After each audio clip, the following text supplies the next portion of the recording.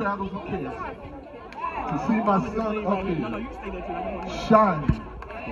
I can make some noise all by myself. But, but check this. My two sons, the other one, he didn't make it because he's lazy, but that's okay. But, but I didn't come to Punta for 10 years.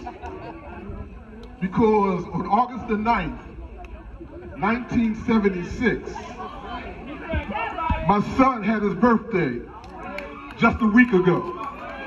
Turned 45 years old. And so I need y'all to help me make some noise just by saying happy birthday, Chris Blues. Somebody say happy birthday, Chris Blues.